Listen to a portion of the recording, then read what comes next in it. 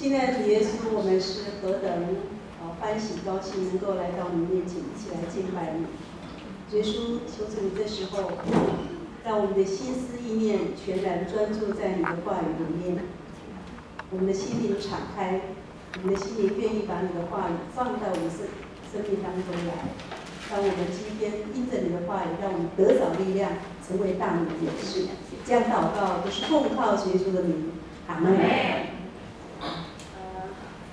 今天能够在这里是非常高兴的一件事情，啊，真的是上帝很奇妙的带领哈，呃，让我从这个呃信徒的身份，然后成为一个传道的身份，那呃这是非常非常值得高兴的一件事情哈。那其实这四年来，我是永福教会的会友，哈，那也是就是教会的分子哈。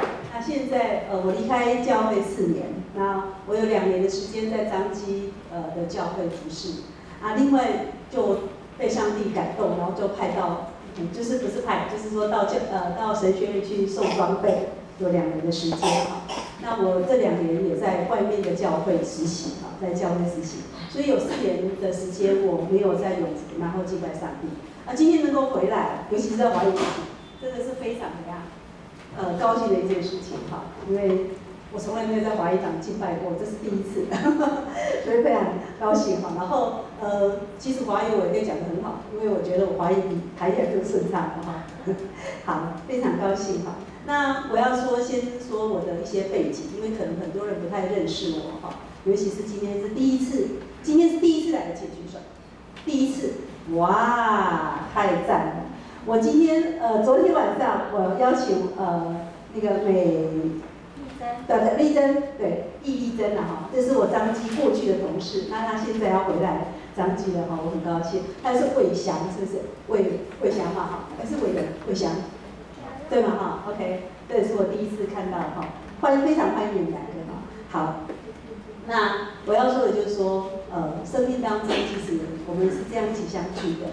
那我要说一下过去，我呃，我九年九年前哈，我先生过世，然后呢，那这个教会就是永福，在我们家里面做了很多陪伴跟照顾跟爱的工作，特别是面对我们三个女女儿哈。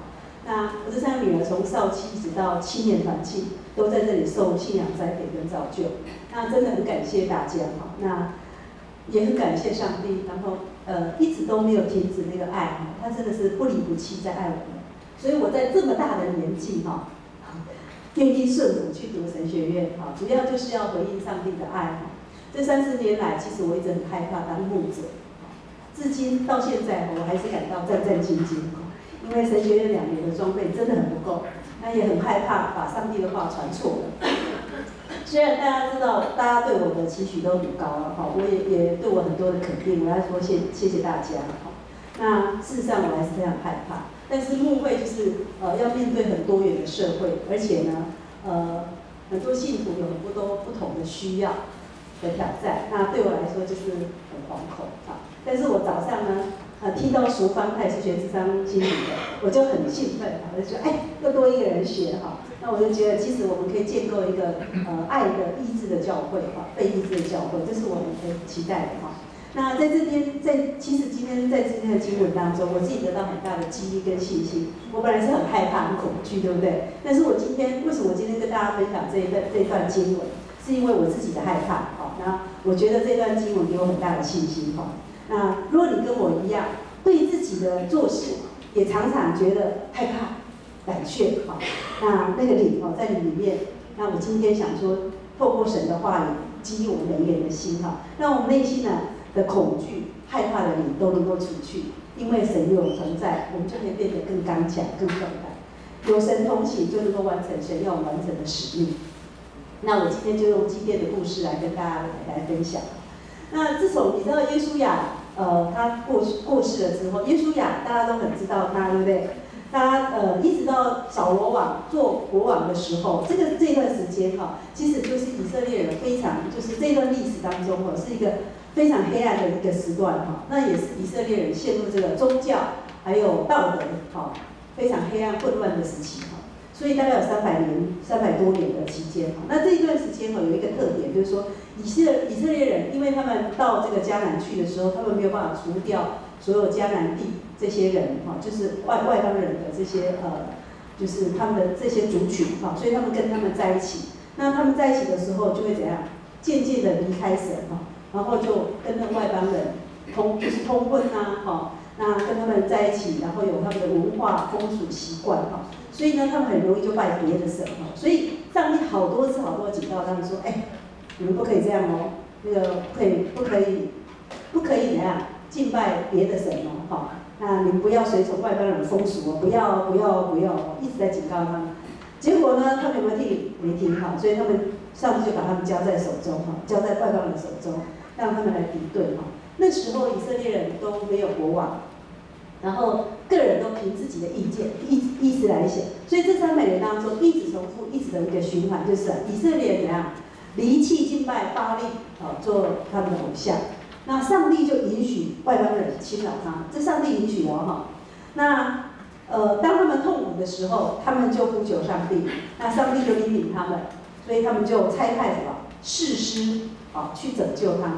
带给他们一段很平太平的日子，但是呢，好景不长哦，以色列人很快就将上帝忘记了，又去拜巴利跟亚瑟亚瑟拉哦的偶像，结果外族人又来侵扰他们，他们因为痛苦又向神呼求，那神又拯救他们，就这样反反复复三百多年哈。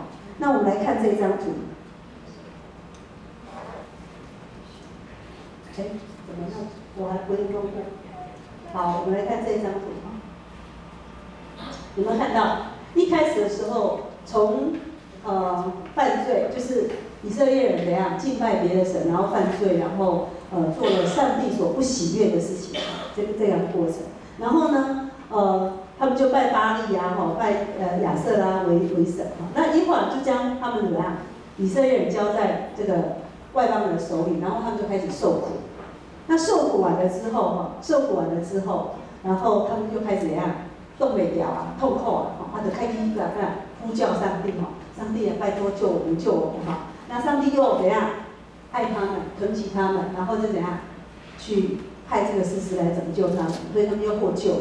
他获救了之后呢？好，我们来看看这一张，哈，我们来看这个，总共有这么多次，哈。呃，一开始的时候是第一个第一位士师，哈，就是那个色。俄俄陀俄陀涅，啊，这个这个这个人哈，那一开始的时候有这个，我这个要怎么办这个这个叫做古山利萨铁，这个这个国王哈，那一开始他们就呃被被侵犯，就是被外外这个国王来侵犯他们。那后来这个恶陀那个恶陀涅的士师啊，然后耶稣就派不，上帝就派他来拯救他们哈。那我们再看看后来呢？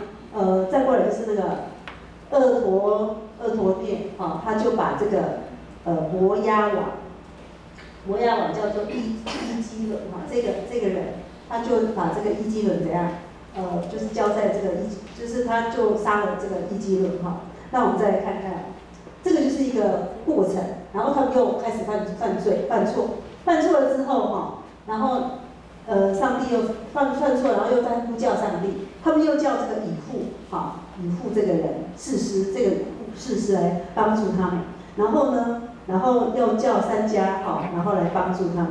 那这个三家就杀了这个，呃，迦南王耶宾，哈，把他杀了。然后呢，后来又犯罪，然后上帝又来救他们，然后就底波拉跟那个谁拉呃巴拉，哈，士师，这个也是一个士师，红色的都是代表士师，哈，然后他也来救他们。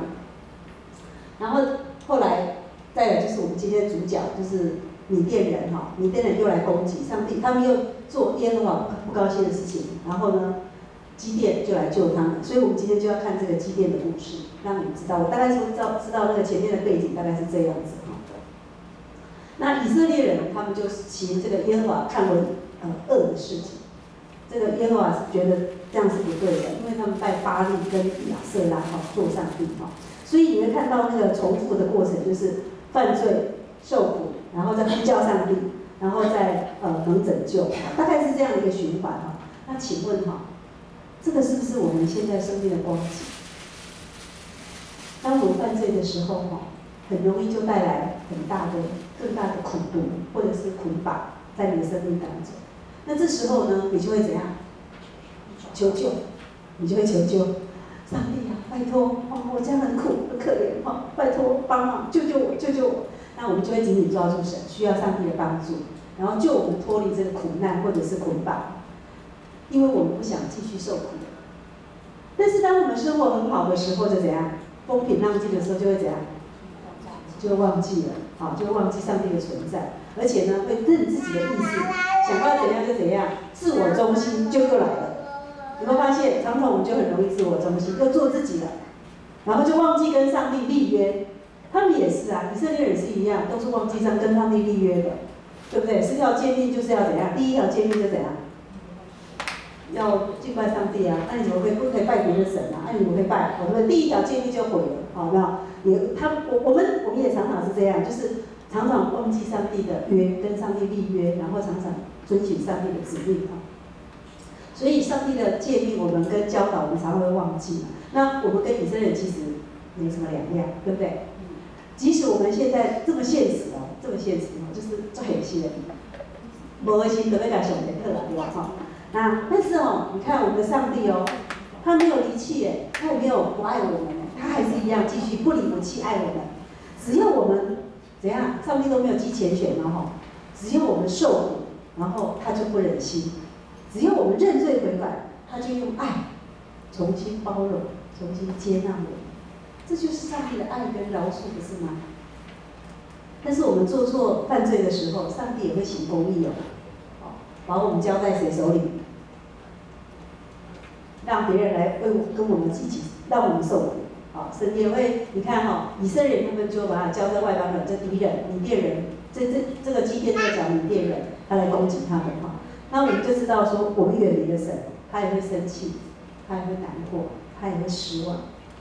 那为了爱我们哈，不要让我们一直活在罪中哈，他就会管教我们。那为何上帝还要请士师来拯救以色列人？那士师的角色到底是什么？我们来看看这个士师哈，他的角色。如果从希伯来说哈，这个士师原来的意思是说判断、啊治理或者是辩护跟刑法，本来他他的意思就是这样哈。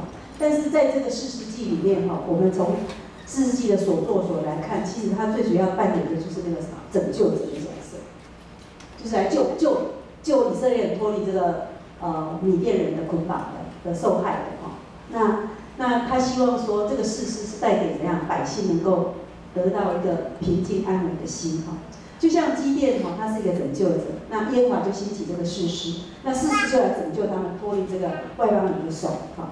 那这里很重要一点哈，大家要注意哈，不是事实很厉害，注意哦，不是事实很厉害哦，是谁？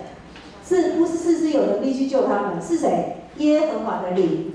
注意哦，这句话很重要，是耶和华的灵降在这个士师你身上，然后他才有能力去拯救以色列人。好，是这样的情况哦。所以神不是要要我们骄傲，是神要我们跟耶稣同行哈。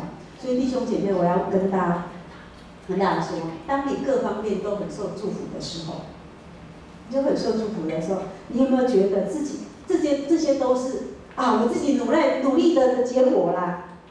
那还是说，你们很感谢上帝，一切都是上帝的祝福跟看顾。人如果自以为很优秀，好，自以为很厉害，自以为都是自己努力得来的，那我们容易怎样？很很骄傲，就会忘记上帝的恩典，好，然后也很容易偏行自己的路，然后骄傲自大，而且还自以为意、自以为中、自以为中心，哈，这个是上帝所不喜悦的，因为神要尊他为大，对不对？那基甸呢，在这个十三位士师中，是他是其中的一位。那也是我们今天在第六节当第六章的里面哈说到的。那我们从第一节这边看，虽然我们今天是是读第一节呃第七节哈，但是我们从第一节来看的话，以色列人做了耶和华认为恶的事情，他们离弃上帝，所以耶和华就把他们交在上呃缅甸人手中，总共有七人受苦。那缅甸人就压制他们，哈，改改阿贼呢，哈，以色列，以色列人呢，因为缅甸人就在那个在，他们就在他们受苦，然后他们自己要为了求生，哈，他们就自己挖洞啊，挖穴然后建造营营寨，哈。那我们来看看，他每次哦，这是上呃上帝拣选基甸基甸啊，我看第三，哦不是这里，那嗯在这边啊，没有在这里。啊，没关系，我刚刚把那个 PPT 有那个剪掉一些些，所以我刚刚没有办法剪，那没关系，我先说这这个哈，就是以以色列人他们每一次他们撒种了以后哈，这个米甸人还有亚玛利人还有东方人都会来攻打他们。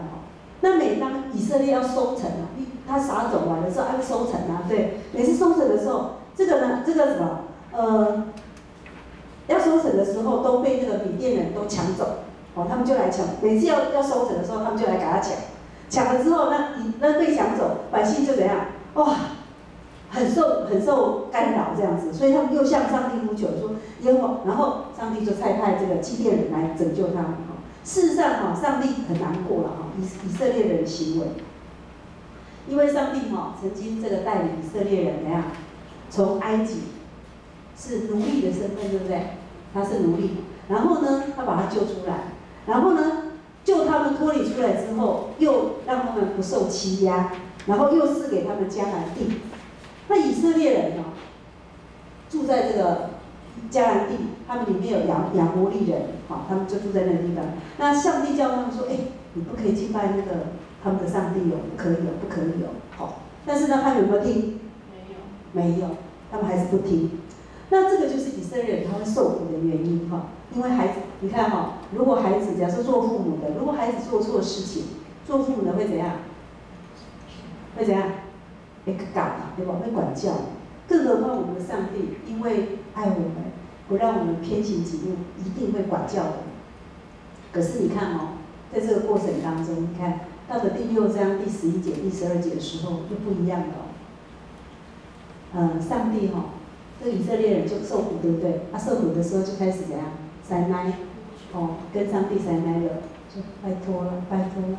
那上帝哈，给他们一种塞奶，哦，然后很怜悯。这些受苦的人，他很受，他很怜悯他们，然后呢，又心疼，又心疼，他又拆开这个耶和华的使者。这个时候，这个基甸其实是约阿施的儿子，啊，他就说，他说了一句很重要的话，也是我们今天的主题，是什么？大能的勇士啊，耶和华怎样与你同在？再再说一次，大能的勇士啊，耶和华与你同在。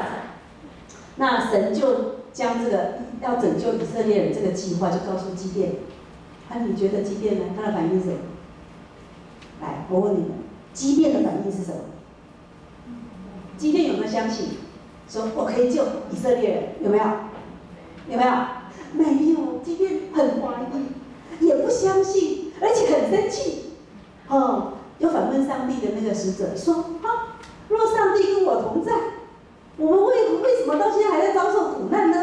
哦，啊，你不是说你要领我们从埃及出来吗？啊，结果嘞，上帝你到底在哪里呢？啊，你现在把我们丢着，还把我们丢在这个米甸人手中，啊，你且是圣上。你看，这是什么？他生气的理由，他很生气的理由啊。那上帝就说，呃，我要哈你靠着靠着你这个能力，现在这个能力，从米甸人手里拯救以色列人。他不是我差遣你去要救他们吗？基甸说：“主啊，我哪有能力去救以色列人啊？你看哦，今天有没有信心？没有，跟我现在很像，就是没有信心，很害怕当传道，那个感觉是一样的。啊哈，然后呢，他说，他就说了哈，今晚你开始讲理由，为什么我没有是吧？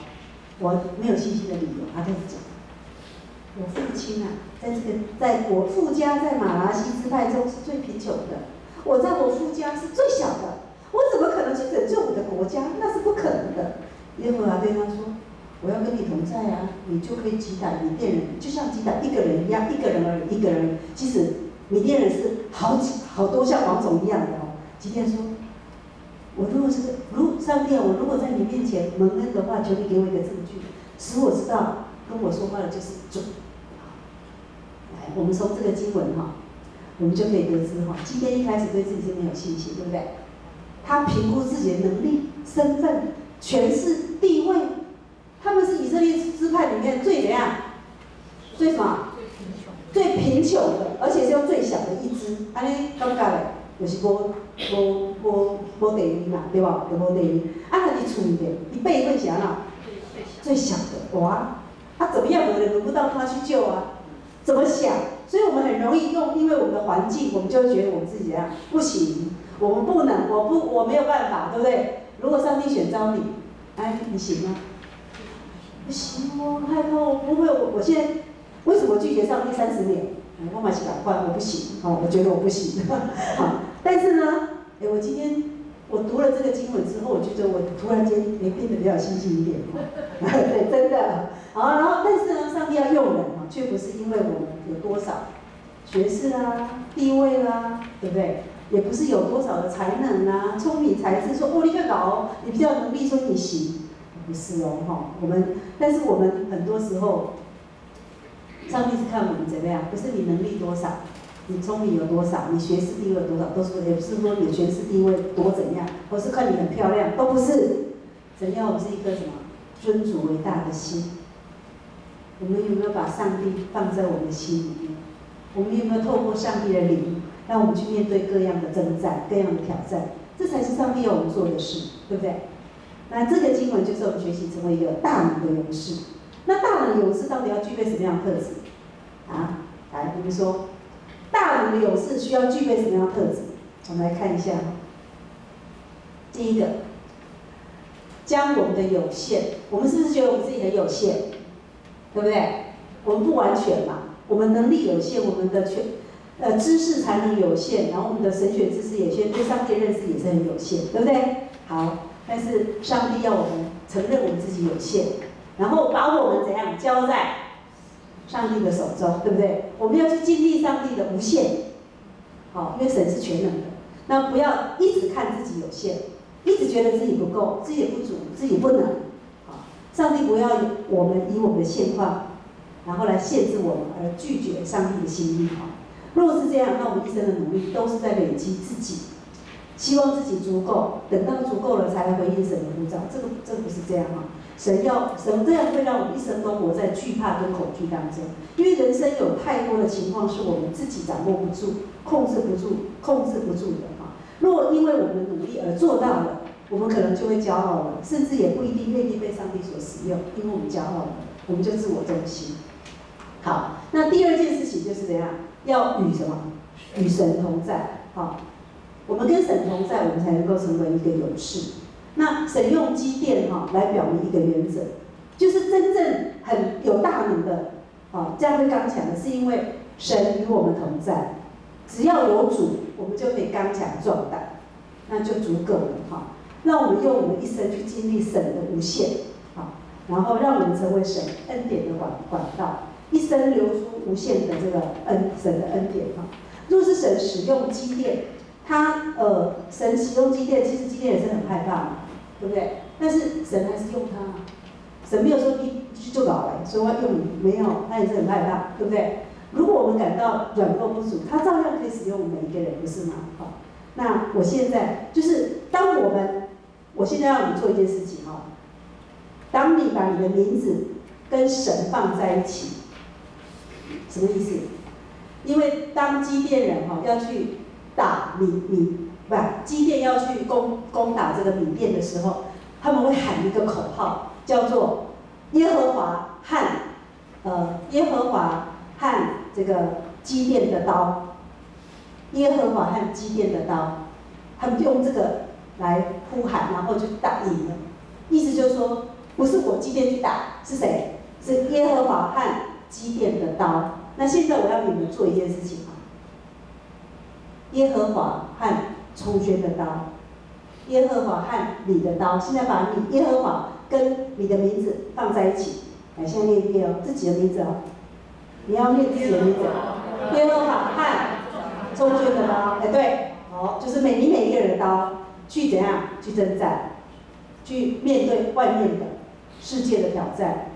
你的生命当中，你要每天怎样有耶和华跟你同在，所以你每次要去做任何事情，就是。上帝也有同在，也有同在，也有同在，就正在。所以不要说我要去靠自己不行，靠神可以。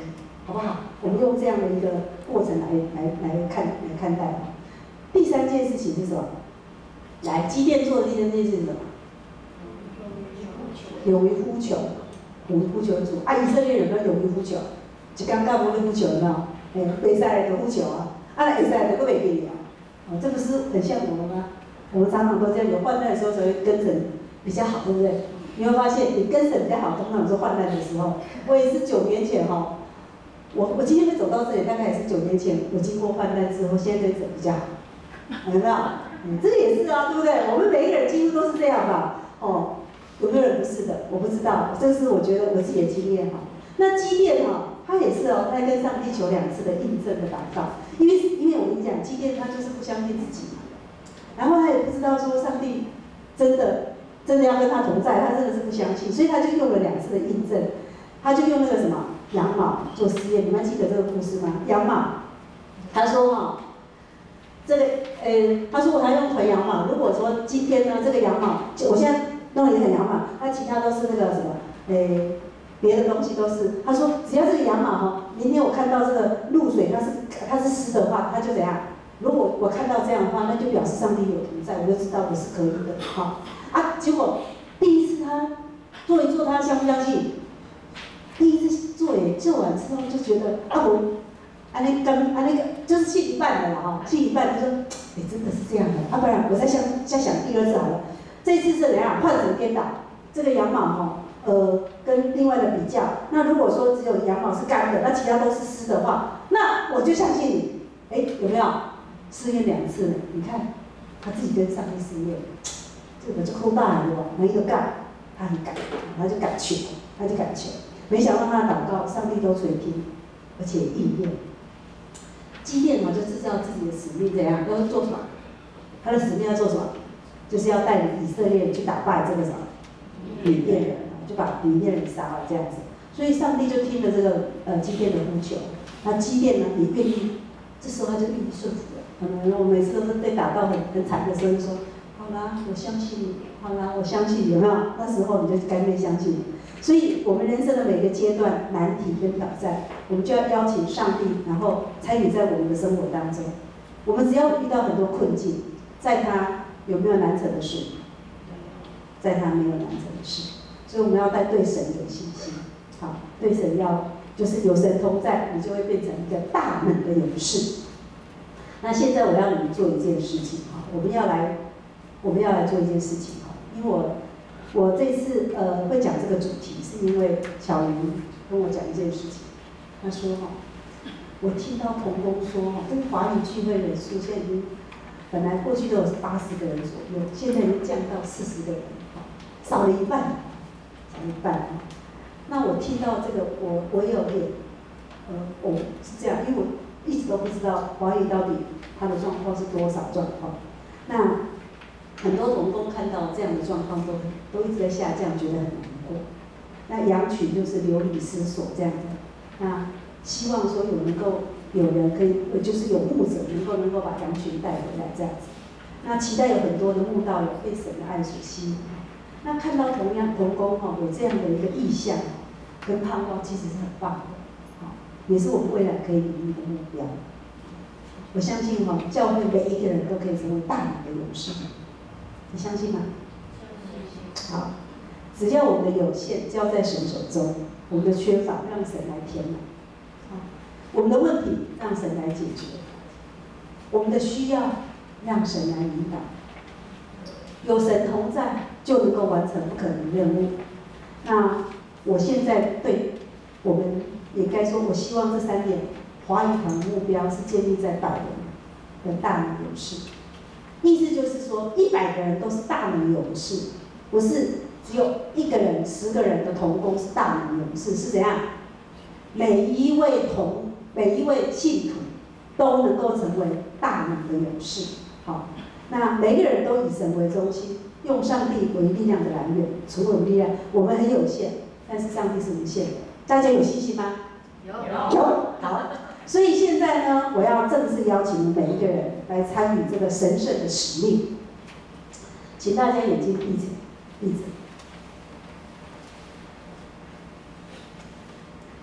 请你呃，请你想一下，在你的朋友当中、家人当中，谁现在最需要神的爱？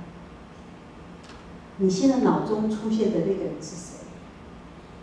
在这三年当中，你要常常为他们祷告，邀请至少一位慕道友进入教会，或者是他已经很久没来教会的，带领他再回来教会，把那个羊群四散的再找回来，用上帝不离不弃的爱陪伴他们去经历神同在的美好。你愿意一起来完成这个使命的，请你举手。不要害怕，不是靠你自己，乃是上帝与你同在，成为福音的大勇士。好，请放下。我希望上帝来感动他们。那我们不要因为一次开口被拒绝就害怕，我们要持续不断有智慧来邀请他们，多为他们祷告，上帝自然会动工。你也可以去经历上帝与你同在的大能。若刚刚你还没有举手，我最后一次要问大家，这次可以刚刚举手可以一起举手。若你愿意参与这个神圣的使命的，请举手。哇，谢谢！我看到非常非常多的人，谢谢你们，请放下。我相信大家可以眼睛张开。我相信一百个大的勇士很快就能够达成目标，这是我们这三年的盼望。请我们一起来祷告。亲爱的主，我们感谢你，透过今天今天的故事告诉我们，我们实在有限，会害怕胆怯，我们需要邀请你时刻与我们同在，我们才能成为大能的勇士。我们华语堂要建立百人的目标。求你带领同工与需要的慕道友来到你面前敬拜你，这样祷告都是奉靠耶稣的名求，阿门。